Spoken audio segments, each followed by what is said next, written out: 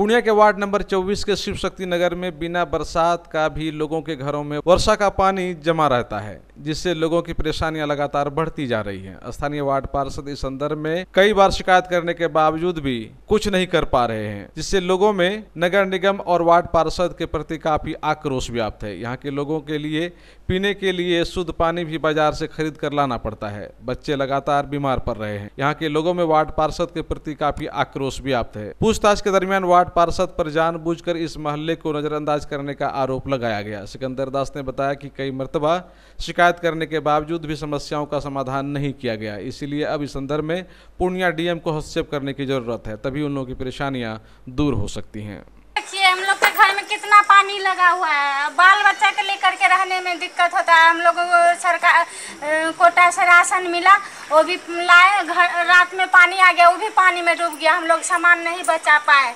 सब चीज़ डूब गया। बाल बच्चा लेकर के इतना कष्ट होता है। चौकी पे पानी है। कितना दिन से है ऐसा? करीब बीस दिन से ऊपर हो गया। कोई हम लोग को देखने के लिए नहीं आता। पूरा बाज़ार का नाला का पानी इधर बहा दिया है हम लोग जाते हैं वार्ड कमिश्नर को लिए वार्ड कमिश्नर कहता है क्या हम जाके क्या करेंगे? वहाँ जाकर के कटोरा कटोरा पानी पियेंगे खत्म हो जाएगा।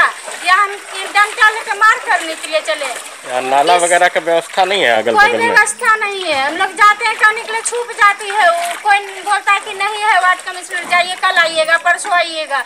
आप लोग क्या हमको वोट दिए हैं जो आप लोग को हम जाएँगे उधर? इतना कृपा कीजिए कि हम लोग का पानी निकल जाए बाल बच्चा लेकर के बढ़िया से रहे। आ हम लोग का ब्लीचिंग पाउडर नगर निगम के द्वारा से चारों बगल छिटवा दीजिए जो गंदगी से थोड़ा सा बचे हम लोग। क्या मतलब है इससे? तू तू लोग डूबो के मरो उससे हमको कोई मतलब नहीं। बोलता पहले के वार्ड कमिश्नर क्या किया? अब वो आबादी में है।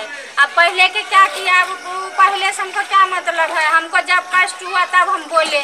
हाँ? जब हमको कष्ट होगा तभी ना हम बोलेंगे। पहले हमको कष्ट नहीं नहीं था तो नहीं बोलते थे।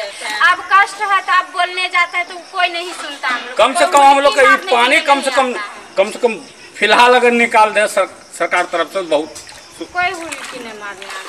नहीं तो बीमारी से बाद में मरेगा। बीमारी से तो बाद में मरेगा। ये गंदगी पानी से हम लोग का बाल बच्चा बीमार पड़ गया है।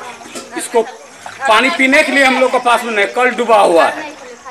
दिक्कत तो इतना सुख सरकार दे देलकै कि पानी में डुबकी मारे अब ऐसे आरो की बार बार बार बार इएह झमेला कहे नाली बनबे ला तो ऐठै